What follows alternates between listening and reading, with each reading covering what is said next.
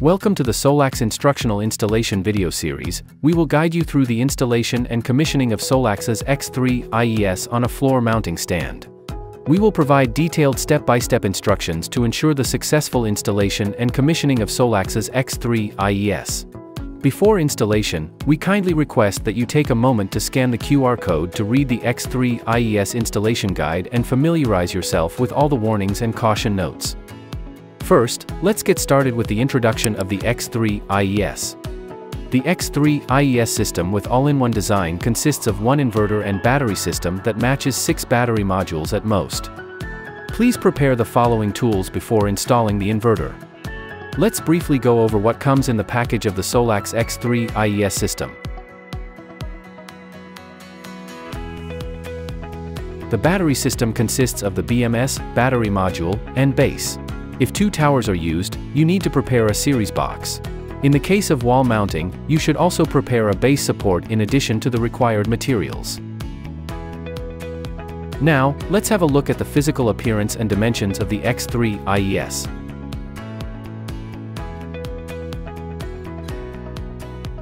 A hot plug interface is designed on the bottom of the battery module or the BMS.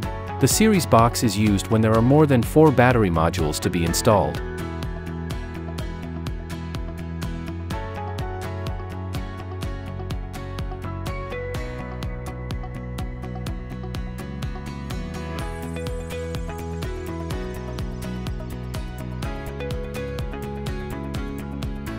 There are two ways of installations for the battery system, one tower and two towers. This video will take two towers, option D, as an example. To ensure a proper installation, please follow the guidelines. Firstly, please avoid direct sunlight, rain exposure, and snow accumulation. And select a location away from flammable materials and antennas. It is recommended to install an awning or cover over the device. Secondly, the ambient temperature should be between minus 30 degrees Celsius and plus 53 degrees Celsius, and the humidity should be within 5% and 95%. Also, the device has IP65 protection. Remember to avoid installing the device at altitudes exceeding 3,000 meters. A cement wall is required for the installation of X3 IES system. When the wall mounting is selected, please ensure that the thickness of the wall should be more than 150 millimeters. When the floor mounting is selected, the thickness of the wall should be more than 100 millimeters. Also, ensure the system is installed in the correct angle. For multiple systems installation, make sure to leave a minimum space of 30 centimeters between each system, 30 centimeters from the ceiling, and 9 centimeters from the wall. Next, we will proceed with the mounting process.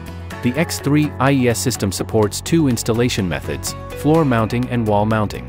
It is recommended to install the IES system with floor mounting. In this video, we will demonstrate the mounting steps using four battery modules floor mounting as an example. After unpacking, firstly prepare and install the base and battery modules. Locate the base 90 mm away from the wall, mark the location of the base on both sides with a marker. Place a spirit level to check whether the base is even. If not, rotate the adjustment screws clockwise to ensure that it is even. Assemble the angle bracket and adjustable bracket together. Mark the position of the brackets on the wall. Drill two holes on the wall, and insert the expansion bolts into two holes, tighten the screws to secure the bracket on the wall. Remove dust covers from the base, battery module and BMS before installation. Lift and place a battery module carefully on the base. Insert and tighten the fixing screws on both sides. Same as the first battery module, install the second battery module carefully, and make sure that the corners and edges of the battery modules are aligned. Then install the fixing bracket on the top of battery modules. Assemble the bracket and secure the bracket with screws. Use cardboard to mark the position of the mounting holes for the inverter. Then, drill the holes and insert the expansion tubes. Next, install the BMS. Remove the dust cover of the BMS. Lift and place the BMS carefully on the top of battery modules, and then tighten the fixing screws on both sides. Remove the dust cover of the inverter, lift and place the inverter carefully on the top of the BMS. As IES system applies stacked installation, there is no wiring for batteries, the battery system is plug and play, which is easy and convenient for installers. Tighten the fixing screws on both sides of the inverter. Then install the fixing brackets on both sides of the inverter. Lock the self-tapping screws into the wall, then fasten the bracket with the inverter. Next, we'll move on to the wiring session. Please prepare the following tools before wiring.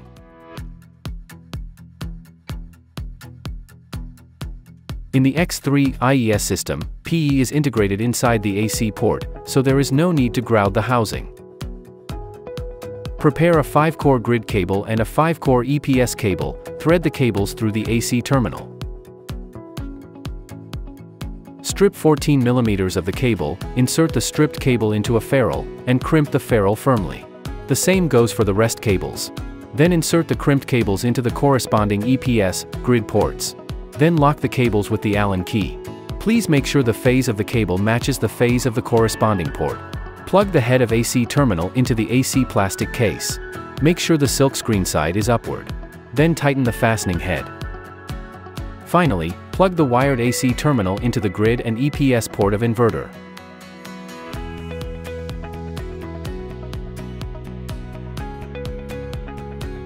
You can choose either to install meter or CT with the IES system, but no need of both at the same time. For CT connection, CT cables should go into pin 1 and 8. Make a network cable by using the RJ45 crimping tool, make sure the pin order on the two sides of the cable matches.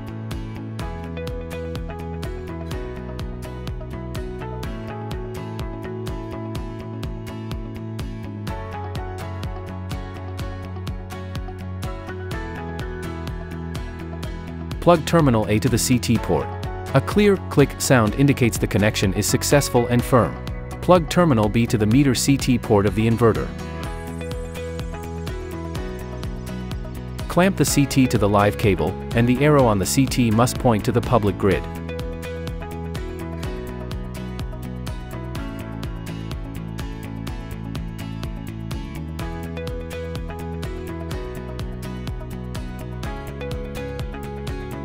When using the SolaX meter, connect the meter cables from pins 4 and 5 of the inverter meter port to pins 24 and 25 of the meter. Directly plug the terminal A to the meter port.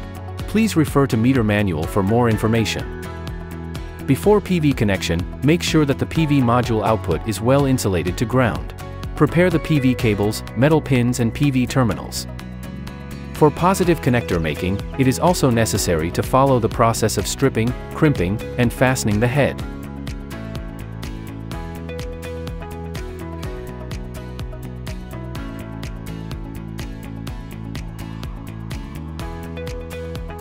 Use a multimeter to measure the voltage between one pair of PV cables. The open circuit voltage should not exceed the input limit of 580 V, otherwise, the inverter will show PV over voltage. Finally connect the assembled PV cables to corresponding PV ports on the inverter. Please make sure that the positive PV cable is connected to the PV positive port on the inverter, so as the negative cable.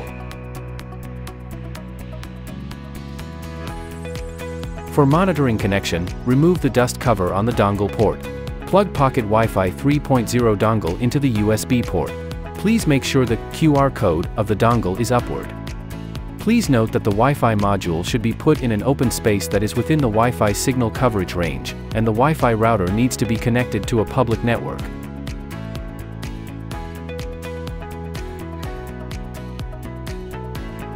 In the X3 IES system, you can connect max 6 batteries, for 2 3 batteries just install in one tower. When the inverter connects more than 4 batteries, 2 towers installation should be selected. Repeat the process of battery module installation, then place the series box onto the top of the second battery tower. The side of the series box with R shall be lean against the wall.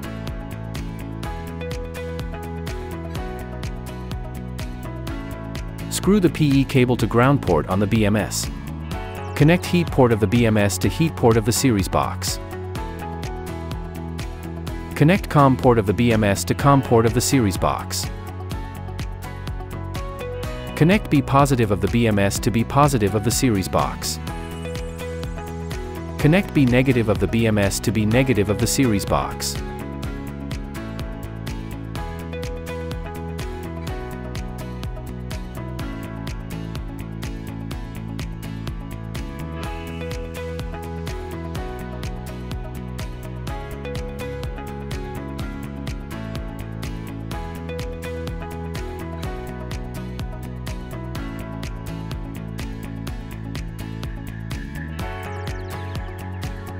Please note that the battery positive cable is red.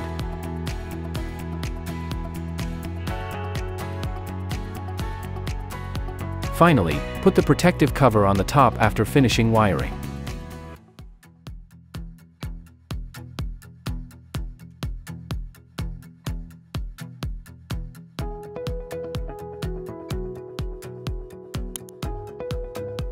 Turn on the DC switch on the inverter. Press the button on the inverter, the button is in off status by default. Turn on the AC breaker and wait for the inverter power on.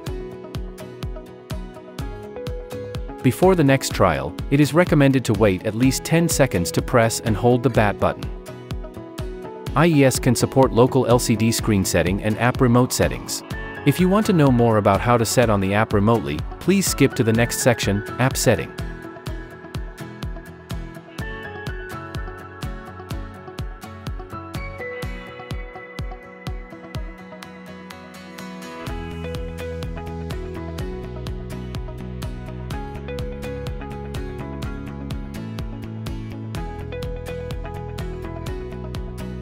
For work modes, you can choose from the following modes, self-use, schedule, peak shaving, manual, backup mode, and feed-in priority.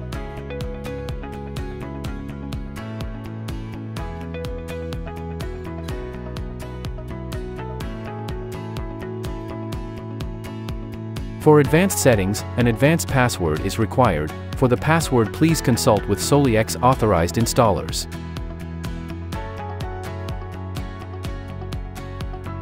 After entering, you can set the data and time of the inverter.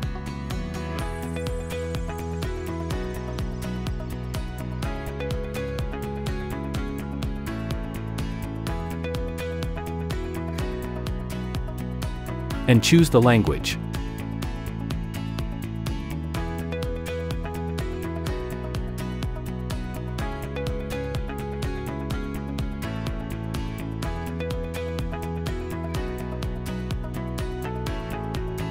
For advanced settings, mainly safety code, export control, meter or CT will be involved.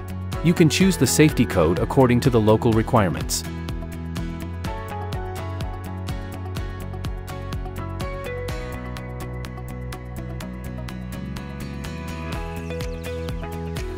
Also the IES can do export control, set the value to be zero if there is a zero injection requirement.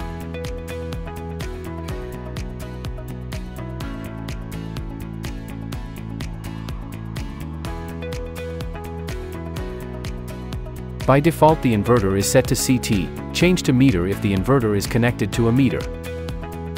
Use your smartphone to scan the QR code to download the Solax Cloud app. Firstly input the username and password to log in the app. If you do not have an account yet, click Create a new account in the bottom. Secondly touch the plus icon in the middle of the page, fill in the site information to create a site, such as site name, size, location etc., and scan the QR code of the Pocket Wi-Fi to add the inverter. Next, configure Wi-Fi connection for the Wi-Fi module. For more information about the operation of Wi-Fi configuration, please refer to the Wi-Fi dongle video.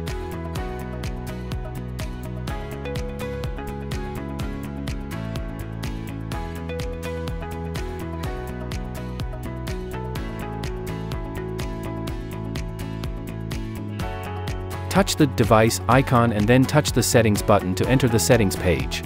Settings includes user settings and advanced settings. Once you access the System On or OFF interface, you can remotely configure the system to turn on or OFF as desired.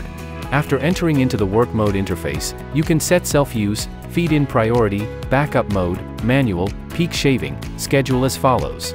The default password should be set by SolaX authorized installers.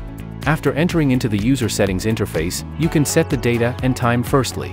The inverter provides multiple languages for users to choose. Here you can set safety code according to different grid-tied standards. Please refer to the table for some main codes.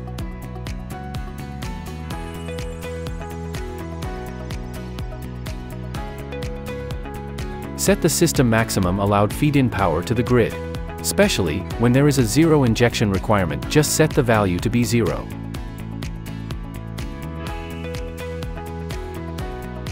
By default the inverter is set to CT, change to meter if the inverter is connected to a meter.